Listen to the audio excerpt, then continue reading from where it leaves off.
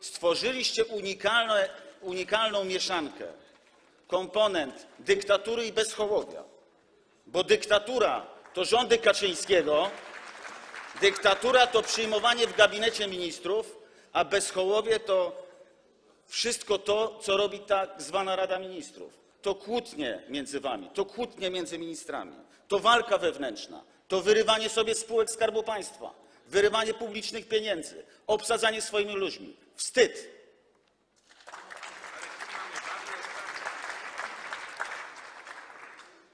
To jest koniec biało-czerwonej drużyny. To jest bezwładna gromada ludzi, która tak naprawdę już nie wie, co to jest Polska. Nie wie, dlaczego, z czym szliście do wyborów. Nie wie, jak oszukaliście Polaków w, kampanii wyborczej. Nie wie, dlaczego Polacy wam zaufali. To was kompletnie nie interesuje.